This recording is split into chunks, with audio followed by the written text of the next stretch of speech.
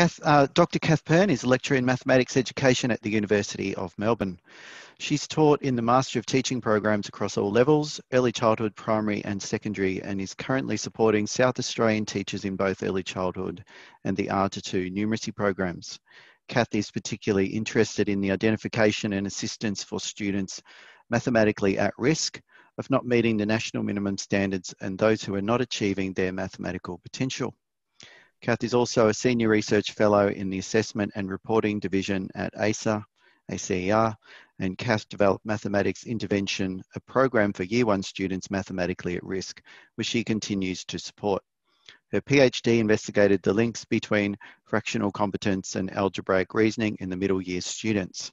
So welcome Cath, and you can see from Cath's title that she'll be focusing on some of that work around helping students who really are not at the level that we'd like them to be um, in their learning progression.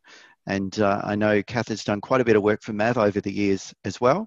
Mm-hmm. Uh, and it was mentioned this morning that Kathy is one of those people who will put teachers at ease, make them feel comfortable, but also give them the confidence to really make a difference. So I really look forward to having Cath here this morning to talk to you all.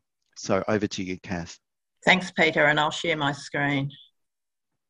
Okay, so as Peter said, um, this is one of my passions. Uh, it is um, about identifying and assisting students um, that are considered to be, well, I would say mathematically at risk. And I guess in my um, many years as a maths educator, as a primary teacher, uh, I have been really privileged to work with students from age five or even before school, uh, right through to tertiary students. And I guess having that, um, that, that luxury of working with students, you actually discover that um, in some cases, nothing changes unless we actually provide some additional support or some assistance. Um, and certainly, as Ailey said, that whole notion of maths anxiety um, does prevent um, further, um, further progress. Uh, and it was lovely to listen to Alan yesterday because um, a lot of what I'm going to show you today or talk about today actually, I think, fits into his five categories, his five, but we just didn't have the vocabulary for that at the time. So um, hopefully um, you will make some of those links with what Alan also said yesterday. So your first challenge, now people who've heard me speak may already have met this challenge, may already have had those thoughts. But what I'd like you to do is think about what does the word five mean and what does the word triangle mean? So just in just uh, we're, we won't going to breakout rooms. I just want you personally to think about if I said to you, can you tell me what the word five means? What would you say? And if I said, what does the word triangle mean?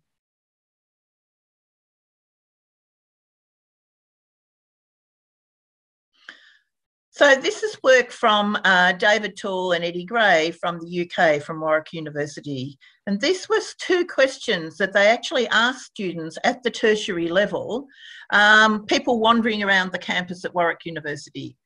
And the reason they asked this question was to sort of highlight the, the difference between it is much easier to describe what a triangle is. I think if we all were sitting uh, around in the lecture theatre and I would have asked you to respond, most of you would have been very comfortable with responding to the defining a triangle. Three sides, three corners, um, you would that, that's something you can picture, you would almost do it. The word five is actually a little bit harder. Um, what do you want me to say? It's five fingers. Um, yeah, five is one more than four. Uh, five is a half of ten. So there's actually a lot of information in the notion of five. And so David and Eddie came up with a term which they called a procept. They said that the symbol five represents all this information and that students who are doing really well at maths are what they called proceptual thinkers. In other words, they not only knew the rules and procedures, but they also understood the concepts. So they could give you a lot of information about five. And in Alistair McIntosh's words, they had really good number sense. So um, I'm currently tutoring my year 11 grandson. And one of the things I've noticed is that he seems to have forgotten all his number sense he was certainly in primary school very able to tell me all the different factors of things. But now that he's reached year 11, he is struggling to would determine what two numbers uh, multiplied together to give me 12, and if I added those same two numbers, which will give me 13, because he hasn't practiced them. And certainly the maths anxiety has hit with great force.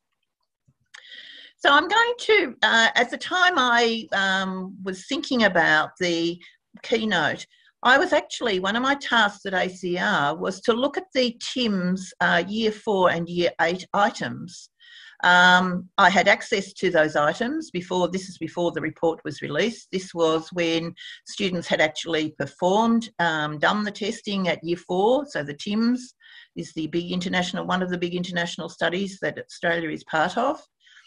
And my role uh, was to determine whether or not the questions actually were appropriate for Australian year four students. In other words, match them up with what uh, was being asked. So could I look at the question and say, yes, it matched that content descriptor from um, uh, our Australian curriculum or not? Um, interesting results were that actually very few of the questions that were being asked at year four were appropriate for Australian year four students if we judged them against what was expected uh, as according to the curriculum. So that was a bit scary. Year eight was the was the reverse. Most of the questions were appropriate for year eight students in Australia. Um, and so I guess even when we start looking at results, we need to think about, well, were the questions appropriate? Do they fit with what we, uh, the students have been learning? So um, over the last little while, they, those results have been published. And interestingly for you, uh, for you of you, those of you in the audience who are in the early childhood sector, the, one of the statements that has come out has said that the lower student literacy and numeracy skills when beginning primary school may be contributing to Australia's poorer achievement in year four maths. So again, you might want to go and read that article. Why are they saying this? So if we look at TIMSS, it's, it's, I'm not going to spend a lot of time on this, but it's the same sort of thing as when we have NAPLAN. They do test across the strands, number, measurement and geometry, um, and the proportions are there. Interestingly, um, our students did much better on data and did much better on geometry. They certainly didn't do quite so well on, well, the, didn't quite do quite so well on number.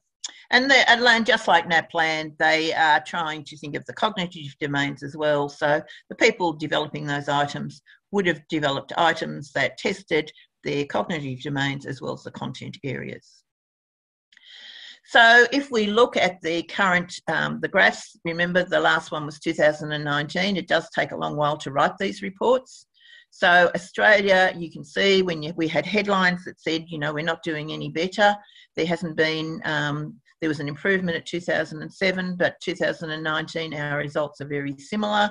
And if we look at Victoria, um, although the numbers aren't significant, there's a slight decline, but of course the press will make big deals of that. So um, Geoff Masters, who is my boss at the ACER, talks about the trajectories of low achievement beginning well before school. And he commented that differences by year three tend to be continuations of differences apparent on that entry to school when they have lots, uh, widely varying levels of cognitive, language, physical, social, and emotional development. And of course, they all impact on whether or not they're going to be successful with maths. And again, there's an article there that you might like to read in the Teacher magazine um, on the ACER website. So, going back to this notion of foundation and literacy skills, the it has come from the questionnaire data from teachers, students, and principals. So they're saying that the poor achievement may be due to students not having, not being able to recognise and write letters of the alphabet, not being able to read and write some words, not recognising numbers higher than 10 and doing simple addition and subtraction. So it makes a big difference if prior to school students already have these skills. Now, there was a test um, designed by um, Brian Doig, which unfortunately I, in the because we were locked down, I wasn't able to access, which was called Who Am I? And Brian and Molly's um, test, Who Am I, actually tests these skills and has been used across uh, the world. It's been translated into other languages. So you might want to consider, uh, certainly in the early childhood space, uh, not just the numeracy but the literacy. Um, and so, uh, another interesting fact is the fact that only half of Australia's Year Fours attended schools where more than a quarter of the students entered those schools with those foundational literacy and numeracy skills. Whereas compared internationally, where there is 80% of their Year Fours would have had students entering there, there um, with uh, foundational skills. So um, other interesting facts from Tim. So 70% of the Australian Year 4 students achieve what they deem to be national proficient, proficient standards compared to 96% of other higher achieving countries. So we've got 30% of students who aren't achieving that. Uh, they related, they could make a relationship between uh, the number of books in the home. So while we're not talking maths, we are linking back to the connections with mathematical literacy, the links with literacy. We can't we can't separate them out. So if you have if the students had more books in their in their homes, they were more lo- likely to do better on those Year Four exam the, that Year Four test. Uh, Australian students, as I said, performed much relatively better in data, but were much weaker in number. And the measurement and geometry scores were about what you would expect for the overall score but number is letting them down. And this has been confirmed by work that I have done in South Australia, looking, analysing the PAT data that we're getting from um, South Australian students at year six. So while their overall score is looking okay, it's because they're doing better on data and measurement and geometry, not on number. So, um, interestingly, I guess that Australian Year 4 students performed relatively better on reasoning, but weren't so good on knowing. So, those tasks that were deemed to be knowing tasks rather than reasoning tasks, they didn't do quite so better, so well. So, what do they deem to be a low international benchmark? Well, students at the low international benchmark, this is the TIMSS um, things say that the students have some basic mathematical knowledge. They can add, subtract, multiply, and divide one and two digit whole numbers. Remember, this is students at year four. They can solve simple word problems. They have some knowledge of simple fractions and common geometric shapes. They can read and complete simple bar graphs. And uh, the percentage they gave were 10% of year four students. Now, again, we need to little bit, be a little bit cautious about these results um, because we know that, as I said, when I looked at the match between curriculum and the tasks, there wasn't a very good match at year four. So if we look at our national testing, we, we know that students at year three are considered to be at band two are at the national minimum standards, and if they're at band four of year five. So if we look at year three, we're saying that these students who are at the minimum standards can use counting strategies to solve problems and demonstrate knowledge of place value of three digit numbers. They identify the next term in a simple pattern. So that's not giving us very much information. By year, at year five, um, they, uh, sorry, that, that's the students who aren't meeting the benchmark. The ones at meeting the benchmark compare and order different representations of three digit numbers they can apply addition and subtraction facts up to 20. They identify equal groups of collections. Whereas our year fives, who are at the minimum benchmark, solve problems involving unit fractions, combination of addition and subtraction of two digit numbers, and number facts to 10 by 10. They identify division as the inverse of multiplication. So these are the students who are at the minimum level. So uh, we before we had minimum national minimum standards, we had the national benchmarks. Some of you will still remember those being in our VELS document. Um, they were in the VELS document at level two. Um, so for at the end of grade two, the end of grade four, the end of grade six, because our testing was done early in the year. So these minimum standards have replaced those benchmarks, and you need to remember remember, they are based on the results from the NAPLAN tests. So they will only give you the information that has been collected from the actual um, assessments. So, uh, interestingly, on that site, it does say that students below the national minimum standard have not achieved the learning um, outcomes expected for their year level. They're at risk of being unable to progress satisfactorily, so I'm glad they've actually noted that. But I'm even happier that they've noted that students performed at the national minimum standard may also require additional assistance. So they're only including some of the skills. And I guess the more I work with students, the more I realise how much we really need to work very hard with our students who are not achieving. Geoff Masters um, has commented on many um, occasions that there is at least, he has evidence that there is at least a five year difference between the top 10% and bottom 10% in any classroom from year two onwards. Um, I think that difference grows. So if you're in grade five or six, I think you would probably agree with me. There's probably more than a five year difference. And of course, by the time the students get to year seven, they've almost given up. So we do need to make sure we um, address some of those concerns. So just if um, I'm not going, again, I'm not going to belabour this, but year three minimum standards talk about having typically developed computational fluency with addition and subtraction of small numbers, whereas year, in the year four TIMSS is saying they can actually add, subtract, multiply and divide. I think there's a lot of our students in year four who can't do those things. So this was just a comparison between the two. Again, some of you may have already seen um, this slide. I keep holding this one up because I keep thinking, how has Megan got to the end of her fourth year of school? This was the November of her year three, where we tested to, um, I, I guess, confirm that our students who had received intervention at year one were succeeding. We certainly found that, but we also found other students like Megan who had slipped through the nets at year one. So again, I'll just give you a minute to have a look. Um, as I say, I know some of you have probably already seen this slide because I keep coming back to this slide thinking, what have we done? Why should, what could we have done so that Megan didn't end up in this situation? So what can she do? And what is she struggling with? And do you have any idea about what she is actually trying to do?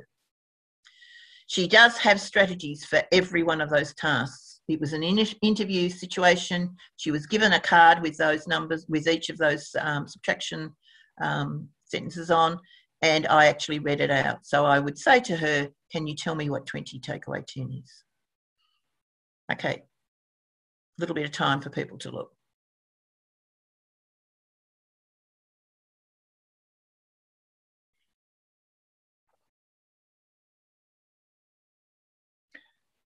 Okay, so I've put together the slide. Um, again, I would, I would have taken responses from the floor. But uh, yes, Megan does have recall of fact families. She was able to tell me that she knew 20 take away 10 was 10 because she knew 10 and 10 were 20. She could do the same thing with the 10 take away 5. So quite confident um, with, it appears to be, she knows her doubles. For the 15 takeaway 13, she told me, she gave me an answer. She didn't write anything down, but she tried to perform that rule in her head. So she obviously did it successfully. She could take the three from five and get two. She took one from one to get zero. So her answer was two. However, she was unsuccessful with those three that I've got there. And she had the same rule that she performed for each one. She had the same language. Six take away eight you cannot do. Put down a zero, carry the one. I'm not sure where that magic one came from, but then she took one from one and ended up with zero. So, same method she used. So, she used a consistent method. She was able to articulate what she was doing. That's the benefit of doing it in an interview situation is you can actually ask them what they're doing. Uh, for the third one, nine take away eight, she put her fingers up one by one and got nine. I think you can see me. And then did one, two, three, four, five, six, seven, eight, zero. And I said, Oh, so nine take away eight is zero. Would you like to do that again? Now, to most kids, that means, uh oh, I've got it wrong, but not to Megan. So she put up her nine. She had one, two, three, four, five, six, seven, eight. Looked at her thumb for quite some time, then laid it down and said zero. There was no way known she was going to change her answer.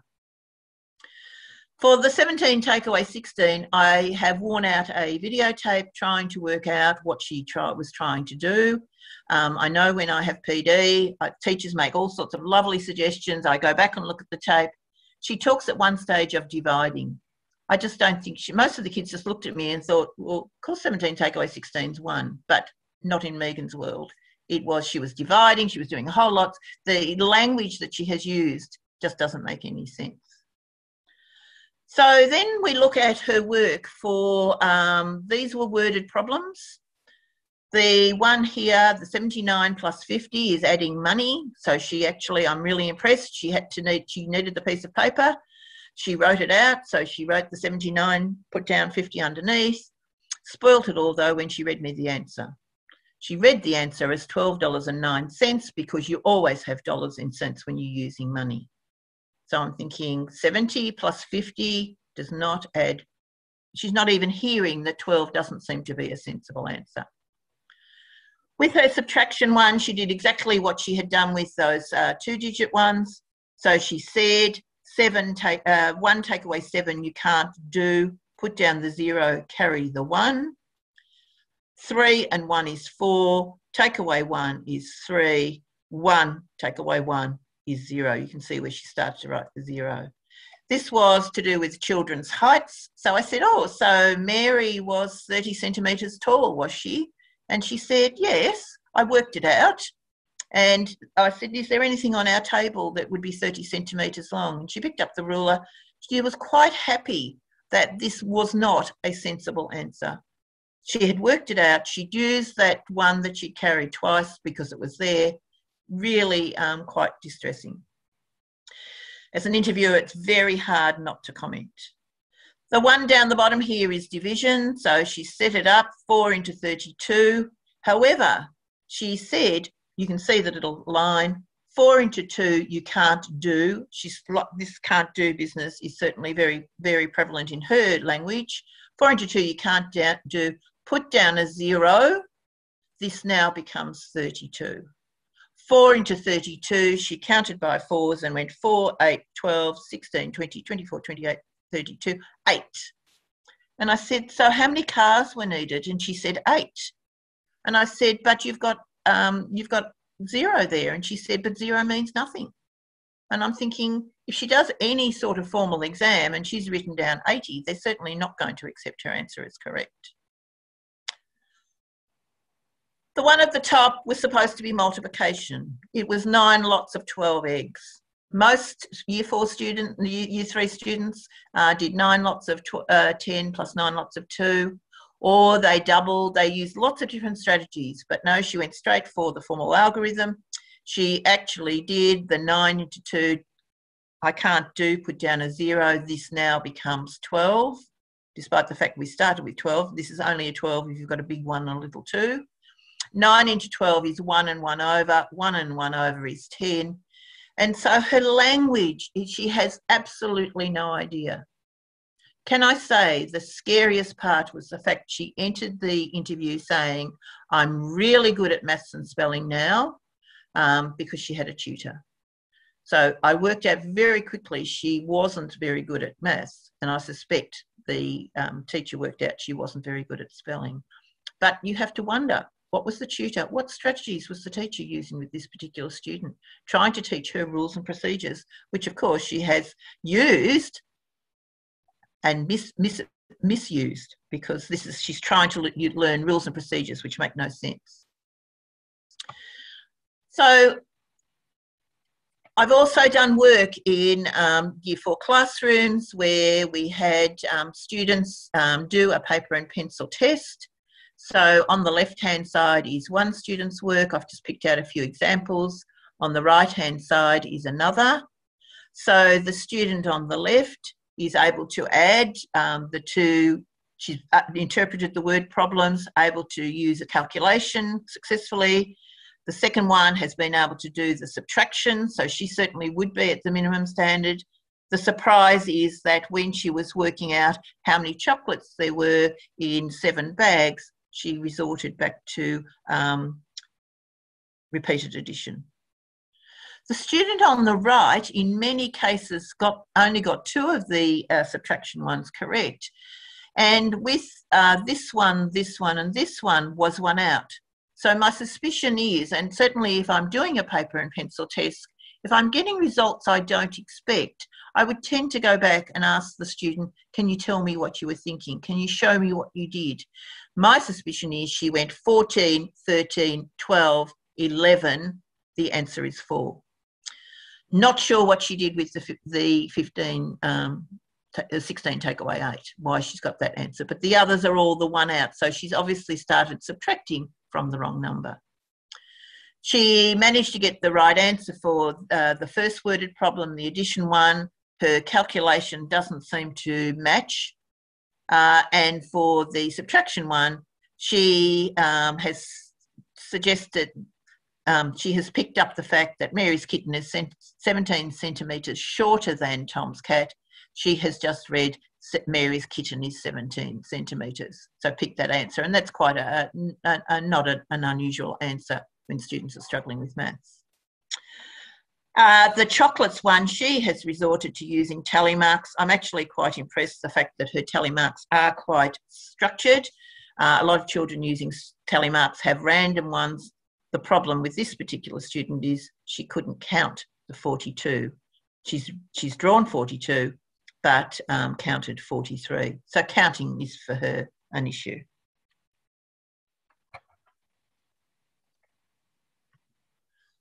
So um, with that particular uh, grade four group, I did use Peter Westwood's test. I like Peter Westwood's um, one minute tests because they each one just takes one minute. You can gain a lot of information about your students. Uh, you don't need to present them in that way. You may want to allow the students more time to see which ones they can accurately do. If you are using the Peter Westwood test, he does say give them on different uh, occasions so that the students aren't being confused as to which process they're using. But I guess what I want to highlight were the results, and I'm hoping you can't actually see on screen what they re refer to, uh, but you certainly will if you highlight it later. So the one on the left, top uh, left-hand corner is addition. So you'll see for 122 students from one cohort at one school, there are five different classes. There are students who can get um, the high marks. There are also lots of students who aren't doing so well on that automatic response because that's what we're testing. Do they have automatic response? Do they know those skills off by heart pretty quickly? Uh, when we look to the right, this one is the results for multiplication. And you can see the graph, there's fewer students here who are getting those higher ones. It could be about the fact they don't have speed, but when you consider how much time prior to year four we spend getting kids to learn their tables, I was sort of a bit blown away by this result. Uh, sorry, this is um, subtraction. I got that wrong. Uh, subtraction is what we'd expect. There are lots of students who only get a few right. The one down on the bottom left-hand corner here, um, that's multiplication. And the results actually are worse than subtraction, despite the fact we do spend lots of time um, focusing on learning our tables. And the Peter Westwood ones are done in the sorts of ways that the kids would do, although I think they, they learn to recite them off it's a bit like one of my grandsons always learned how to do the blue words by remembering which order they are in. If you just picked on a random one, he struggled. So maybe students are doing much the same thing. The one on the right hand side on the bottom corner is division. And every class I went into, there were students who said, Oh, but I can't do division. Well, they proved themselves right. They were really struggling with that automatic response for division. So, again, a nice, quick, easy test.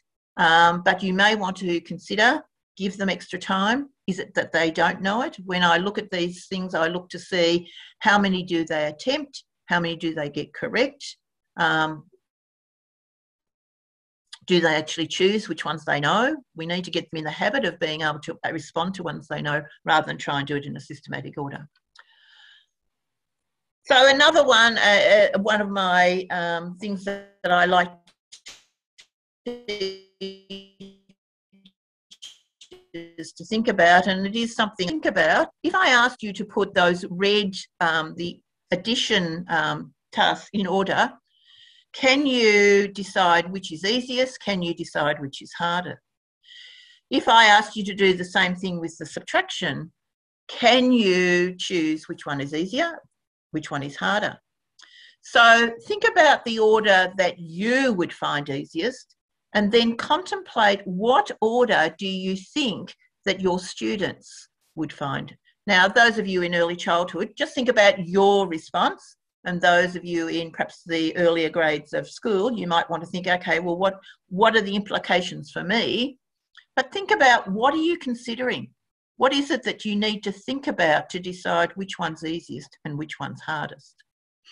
Okay, I'll give you a minute or two to have a look at those. I've put down the content descriptors on the right hand side.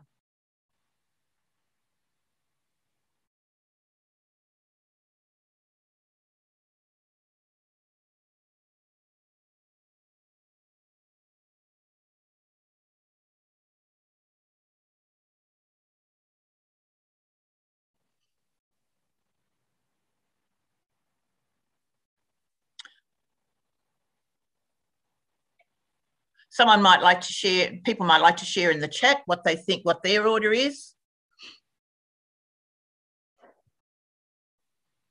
You'll notice I've given them a, a, an alphabetic code so that you can just do the ABC or whatever it is you want to do.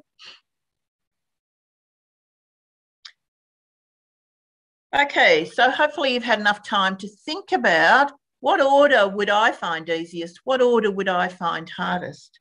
Now, if we go to the next slide, think about these and think about, well, again, I've now I've mixed up addition, subtraction, I've mixed up um, other criteria. So have a look at these and think about, well, what do you need to do? Which ones do you think are the easiest? And which ones do you think are the hardest before thinking about what your students might think?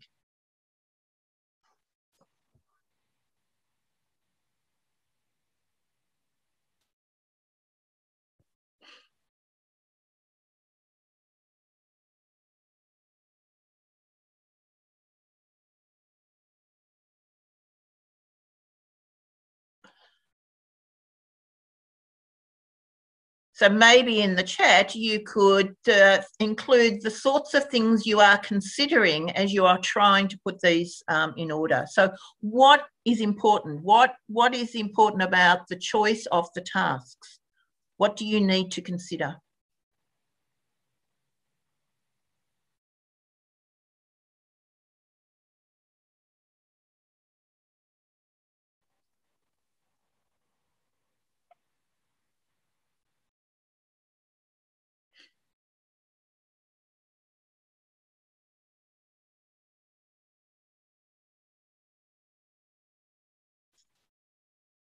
I notice people are adding to the chat. That's great. Um, I can't actually see it at the moment, but I will come to that in a minute. Okay, so when we're providing tasks for students, and I go back to, I think I this is where I, I really connect with what Alan was talking about um, yesterday, is how do you decide on the order easiest to hardest? If we're in the lecture theatre and I asked you to talk to the person beside you, would their order be exactly the same as your order? If I asked you to consider the students in your class, um, or in the early childhood setting, if I asked you to consider the your colleagues um, that you work with, would their order be the same or would it be different? Is there something common? Would, is the easiest one the same for everybody and the hardest one the same for everybody? Or what is it that it thinks? Thinking about, okay, so if we're thinking about the order, and um, Scott, could I ask you just to read out a couple of the comments in the chat? Did people um, write comments about what they needed to consider? Certainly, there's a few that have come through. So um, things about students struggling with number sentences when they need to find the missing number and also when the numbers yep. are apparent.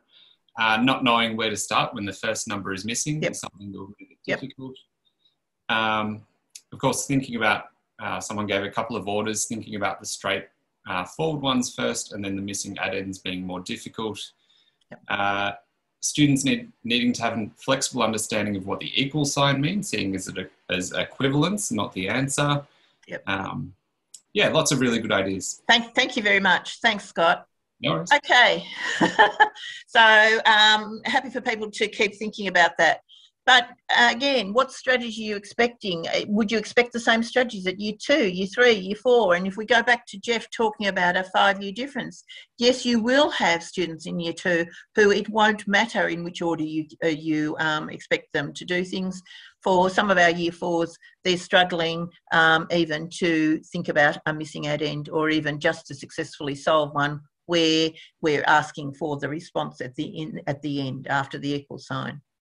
So we do need to know about the types of strategies students are using and thinking about what about those students who are using tally marks. Many of those um, tasks that were on those um, slides certainly involve very large numbers. And uh, don't be surprised if you see some students, and I've used the, these sorts of tasks from grade two, even up to year nine, and I still see evidence of students trying to use um, very um, tally marks for very large numbers, and they just and they, there's certainly no way of setting them out neatly. Okay, so um, uh, Ali talked about this morning about different resources. So um, I um, we spent time developing the maths developmental continuum. Although that's disappeared off the um, department website, I don't think there's a link to it. We haven't been able to find it. Um, here's one of the tasks that was used um, to or, or, given as a demonstration. So if you can access uh, tasks like this, you could go back to the Smart Big website. And um, I'm not sure how long they will stay there. We're very lucky that it's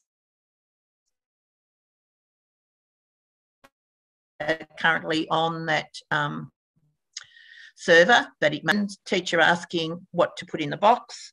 And of course, then uh, we have students like Luke and Cameron. Luke, of course, um, ignores the five but adds the seven and six. And this relates to what Scott said this notion of equality. We do need to do lots more work on equality. Do the students know that seven and six is the same as um, eight plus five? Or do they just think equals means give me an answer? And back in the dark ages when I was teaching, where Cuisenaire was used, year two students were very good at equality because they could match up the uh, coloured rods. They could actually write down lots of number sentences, lots of equality. They knew that seven and six was eight plus five. They also knew it was nine plus four. so they would have lots of different ways of writing that. They could transpose, they could substitute. The current equivalent, I guess, is the Numicon material. If people haven't seen Numicon, have a look at that because it certainly is useful. But yes, so there's lots of kids who are Luke's or Cameron's where they either just add the numbers on the left hand side or they add all the possible numbers. So I do have to put in some fraction tasks. Max, I know you're watching, so um, thinking about our students in the upper grades, um, certainly thinking about um, in TIMSS, they said our students needed to look at number and fractions. So, okay, here's some fraction tasks. Uh, for those of you coming this afternoon to the fraction um, workshop, we'll talk more about this. But thinking of tasks where um, we've marked the number line zero to three quarters, think about why would we have included A, B and C? Well, as my talk this afternoon says, three quarters is nearly one. So yes, there are students who would pick A. Uh, lots of different strategies for choosing the correct answer. Uh, some, although, will choose C because it's near the end of the line and they think all number lines finish in one. The, um, the other one is matching, and I think this also goes back to, relates to what Alan, I put this one in because of Alan's talk yesterday, talking about the links between uh, fractions and decimals. I think he went a bit further.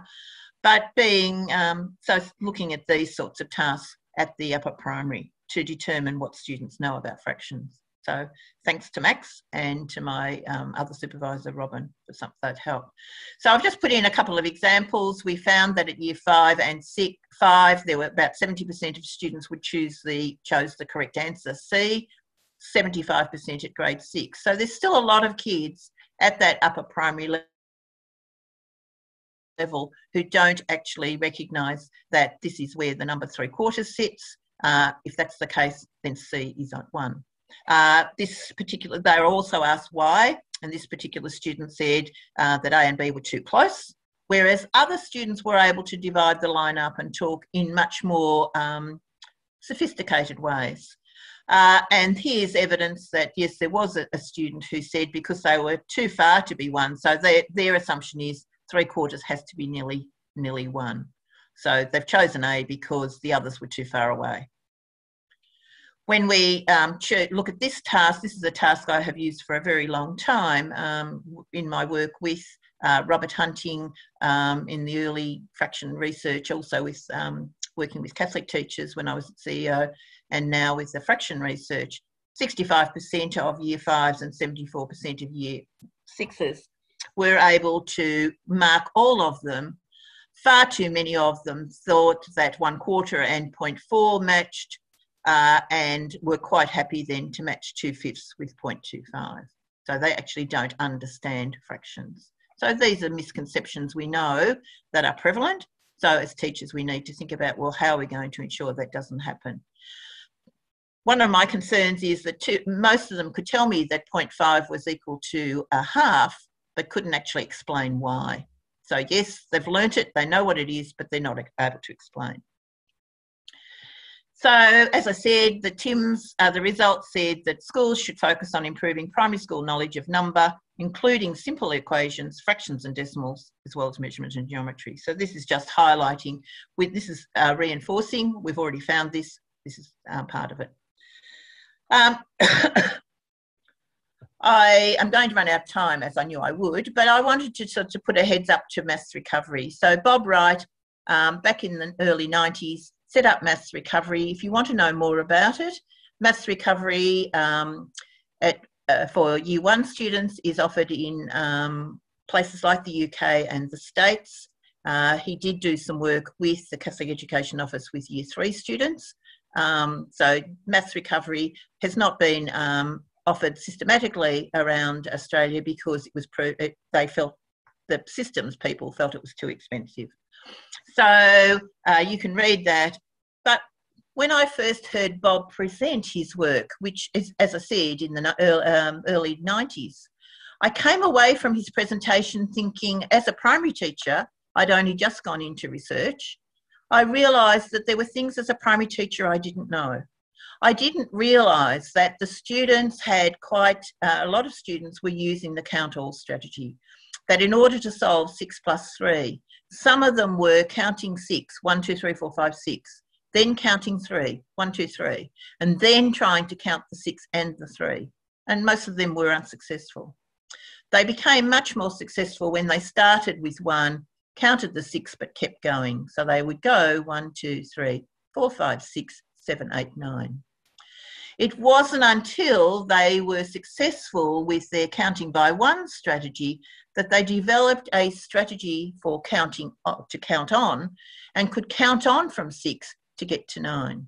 Now, initially, they start six, seven, eight. So, a bit like that student who was doing subtraction starting from the wrong number. So, that seems to be fleeting. They do then go six, seven, eight, nine. But initially, they will start from whichever number comes first. So if I had 2 plus 17, they may well start count, counting on from 2 rather than choosing 17. And as people said, where do I start? I, uh, I need to have a strategy for subtraction in order to solve the last one because the starting number is not obvious.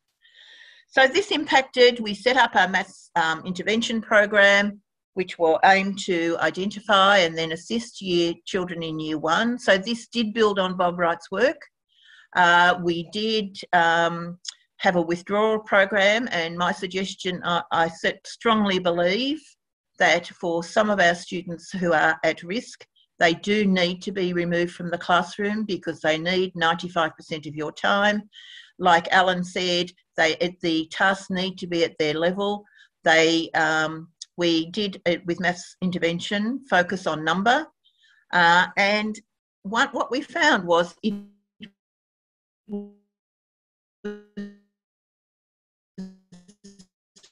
very dependent on the reading what they don't know. Um, the child who is needing additional assistance is the one who's always sharpening a pencil or going to the toilet or having a drink. So, avoidance. They're very good at avoidance, not quite so good at starting the task. Uh, identifying the extent of the problem. So, part of the issue is how far back, if I'm looking at initially we thought maths intervention should only be offered at year one, just like reading recovery, let's catch them up and they'll be fine. But the more work I do, the more I realise we actually need intervention at every year level. Otherwise, those bottom 25% in your classroom are going to remain the bottom 25%.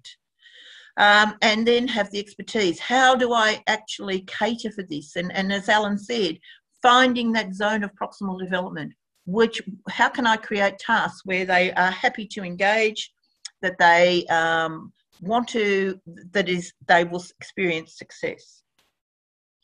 So we had an interview, and if you look at that later, you'll see very similar. This was a pre, this preceded the Maths Online interview. So, and it certainly when we matched up with Bob Wright's interview, which we weren't didn't have, uh, we only knew about the sorts of things Bob did.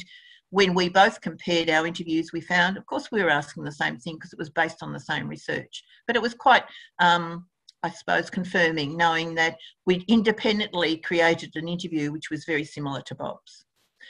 So yeah, these are the results. We they're quite scary. That uh, we had uh, forty uh, percent of Year One students who couldn't count backwards from twenty. We had, um, and, and you can see the other results there. Uh, there were sixty percent who could not create correctly name. We know there's difficulties with the team numbers um, and matching up those, those numerals. Uh, and then we found that there were 24% at the lowest counting stage of the Les, Les Steffe's counting stage. That means they could only count things they could see, hear, or feel, while 40% were did, uh, certainly could not um, did not have a strategy for subtraction. So they're the common difficulties. Uh, scary part was that when I presented these, and these won't be um, unusual, won't be unexpected, uh, when I presented these and was followed by someone doing intervention at year seven, her comment was, Cath, these are exactly the same as my year sevens. And that's pretty sad that we are, actually have students at that particular level. so um, I, I guess this slide, I think, matches very nicely with what Alan said. We need to, so with any intervention program, you do need to start from what the student knows. You need to provide a range of appropriate materials. Uh, can they draw or represent their materials? Asking lots of questions, and, and certainly in that video of the children, I'm not sure our intervention children would get to the point of being able to challenge someone else, but we, we certainly asked them to explain what they were doing. And um, while you don't have access to our intervention um, interview, you certainly have access to the online interview. So you will see those questions have been designed to give you lots of information, not just about whether or not the students can get it correct, but whether or not they, uh, the types of strategies they are using. So also linked to the growth points. Now I know um, there have been some changes um, although these are the current ones at the moment, but these are the ones that relate to that original Steffe research. So being able to think about do the are the students still using the count all strategy? Well, yes, there's a lot of Year 9 students who are still using the count all, and some of them are still using their fingers. Please don't tell them to put away their fingers. They'll have nothing left. They'll have to guess. There are students who, um, at that higher level, can count on but don't have a strategy for subtraction. So yes, they might be successful with addition, but are they successful for subtraction? So if you want some help, um, I would encourage the early childhood people to go and have a look at that interview as well and look at the growth points and see how what your how your students uh, match up. Um, as part of some work at ACER, one of the things I did, there's a, a um, easily accessible document called Working Out What Works that does include things for literacy and numeracy. You just, um, one of the things I did was look at the growth points, look at the incremental steps, and then think about some suggested activities. This is getting a little bit old, and I'm sure there's other things around about uh, as well. But if you're interested, that's there for your um, act to be able to access. For our early childhood um, people, think about um, have a have a look at the Let's Count program. It's a, an early maths program for children aged three to five, developed in conjunction with the Smith family by Bob Perry and Ann Gervasoni. So um, there are videos on that website. So have a look. Um, you may find that um, you can get some support from that Let's Count program. And I know I'm nearly finished, Peter. uh, many students are mathematically at risk and struggling to solve a range of mathematical tasks because they don't have the foundational skills. Do they have the counting? Do they have place value? Can they add? Can they subtract? Can they multiply? Can they divide? Uh, they need a whole range of experiences. One of the things we found with intervention, you need to do the same thing over and over again, but by changing a colour or a type or a shape, that's enough for the kids to take on board. Too many primary, and I'll add in there too secondary, uh, students rely on inefficient methods such as guessing, trying to remember a rule like Megan, using tally marks like the year four student I showed you, or use that inefficient method as at count all, which Di talks about as well. So you do need to encourage students to use concrete materials, the appropriate ones. Draw, do the 2D representations. It could be drawings, diagrams, use on our, on our um, computers um, and iPads encourage them to use words and symbols. As I keep saying to people, I would be sabotaging the literacy block and making sure that they're using those words and symbols in literacy because mathematical literacy is really a form. Focus should be on developing and demonstrating the four proficiencies, not just on rote learning. So, are they fluent? Can they choose the right process? Can they problem solve? Do they use reasoning? Do they demonstrate their understanding? And last one, uh, teachers and, and educators need good conceptual understanding about maths and the possible and common misconceptions. I know it's hard, there's a lot of research, certainly in my area of fractions and in intervention. We know the difficulties, so we need access to that. Uh, we need appropriate assessment instruments. The online interview is fantastic, but do you know how to use it? Do you know what you're looking for? Uh, certainly when it was first introduced teachers undertook training. Uh, at La Trobe, we ran a six day program on how to become good interviewers. So, and monitoring, like Alan said, you need to monitor those students' responses. So, we need tasks that start with what the student knows. So, engage them. They need to be scaffolded. So, what's the next little step? What's the next little step? What's the next little step for our kids who need that additional assistance?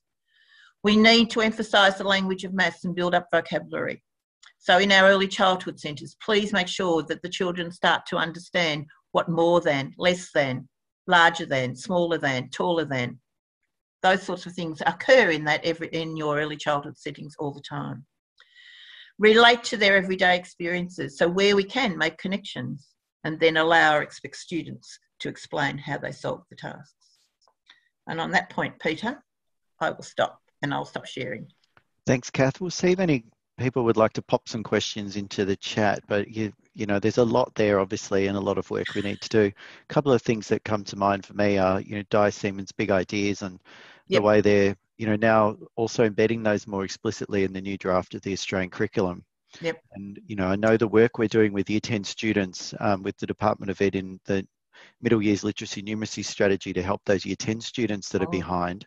Um, we're using those big ideas and we're teaching Year 10 teachers how to teach the basics again mm. to students who've missed it. And the secondary teachers don't know how to do that. They don't necessarily know how to fill in the gaps and, and, the, and what those foundational mathematics concepts related to the big ideas actually are that the students are missing and then how to rectify it. So, you know, I like that the Australian curriculum was being more explicit about those big ideas.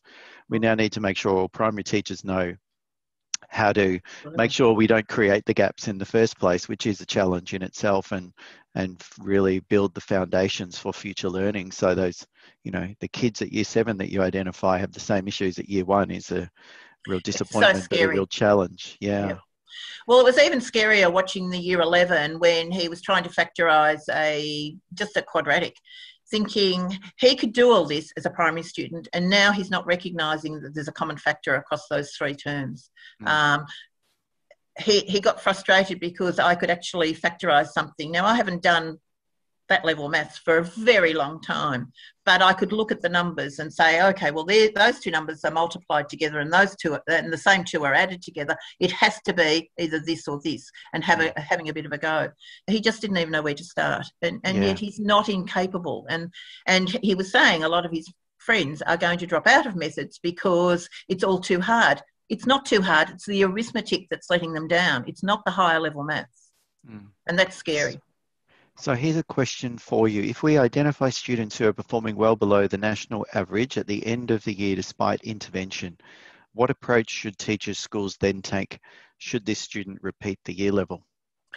Uh, my suggestion, I don't like repeating students repeating the year level. My suggestion is as soon as you identify there's a problem, especially for those students who are a long way below, providing additional assistance. That's going to involve um, funding something. Uh, certainly, I did some work out at, in the, some of the Eltham schools where they set up an intervention program at year three um, to catch those children up. Uh, we had Even Start, uh, which was a one year tutoring program put on by the federal government where um, ACER staff created uh, the tests. They came up with solutions for what to do, so tutors were chosen. Some of those materials are still in schools, but I think you'll find those students who are way below are the ones who have to be removed from the classroom. I know that goes flies against what a lot of other maths educators say, but with my experience dealing with students who are at risk, you actually do need to allow them to thrive in a, in a, in a little small setting where they can make mistakes. They can actually say things that don't make sense they're not embarrassed to use concrete materials. Whereas mm. the rest of my class aren't using concrete materials, so I want, want to do so. Yeah. We ran maths intervention um, with year one and year two, uh, and often the students who weren't part of the maths withdrawal program would say, "When's it our turn to have fun?" Because and the students came out much more confident. Um, we didn't give them as much time as we would have liked, and even at year three, we found even if you can only do one extra lesson a week, a half hour session, please don't make the sessions too long for kids who are struggling. Half hour sessions, uh, you know, even half an hour a week would be better than nothing at all. The more you can give them, the better they'll be. Um, but you need to be very, very patient because you what you teach them today may need revising 23 times before they get it. But once they've got those building blocks, they don't look back.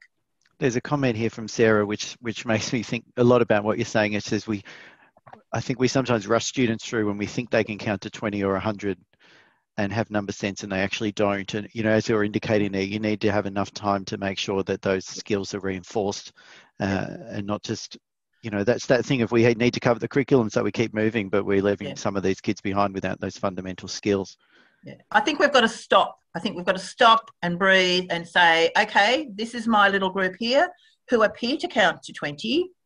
But um, if I start them at a different number, can they still do it? So, um, going back to in our early years, our early childhood, thinking about those five counting principles and making sure they're in place.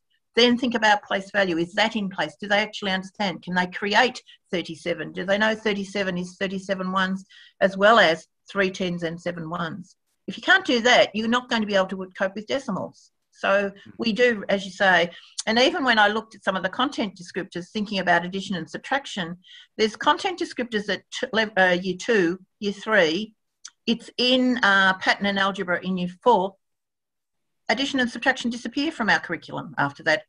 We take up uh, multiplication and division but you know so for some kids they're still way back and we need to think about what is the absolute minimum we need to do with these kids and once you catch them up um, a little anecdote um, when we did have the year two intervention the children in intervention were we were very focused on the building blocks. We were very focused on developing their counting and their place value skills and their addition and subtraction. They did the same classroom test as everybody else and they had been focusing on something different. The um, year two teacher was mortified that the children who had been doing part of the year two um, intervention actually performed better than most of the other children. So she was just horrified that her classroom teaching obviously you know, they, that, that the kids who'd had intervention were actually doing better. Mm. So, Cath, one last question, short one, hopefully, so that we can make sure people get a break. Is from your presentation, there's a lot of things we need to tackle in maths education. If there's one place that you would suggest we start as a priority, I guess that's like where should people go first to take that first next step to maybe change what they're doing? Uh, I guess I would go back to, um, and I would go back certainly think about very seriously using interview to um, ascertain where children are at. Uh, I w- wouldn't perform the whole interview. It might be in um, prep. We do the prep detour in grade one. We might look at the counting parts. Uh, if they do well, you can move on. But we need to go beyond paper and pencil tests. We actually need to start listening very, very carefully to what students are saying. Don't assume they can count from 1 to 20 because you might find when you actually stand and listen to them, they're saying 30, 40, 50. So um, if I had a magic wand, I would make sure there was enough funding in every school to provide intervention programs for those students who need it. But I don't have a magic wand. I've been trying for 20 years and it still hasn't happened.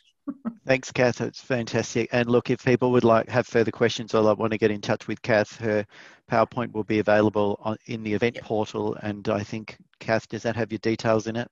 It does. And I'm it more does. than happy to talk to people. Yep. Yeah, absolutely. So you can follow up with Cath there if you want some further questions or support. Thanks so much, everybody. We're, we're back at 10.30 in the event portal. Go to the next session at 10.30 and make your choice. And we will see you online. Have a great day and enjoy the sessions coming up. Cheers for now. Thank you. Thanks, everybody.